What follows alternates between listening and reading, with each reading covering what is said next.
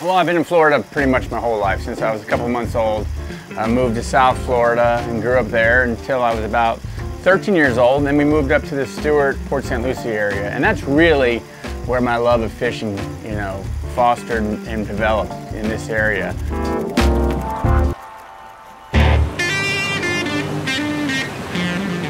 I mean, I think the snook is that quintessential inshore fish because it's incredibly hard fighting fish.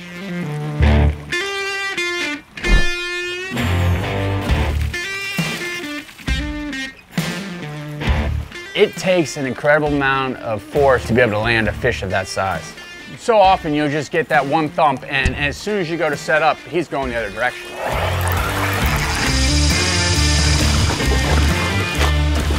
On the board. So far, I owe you a dollar. On the board. But that's not going to be the winner.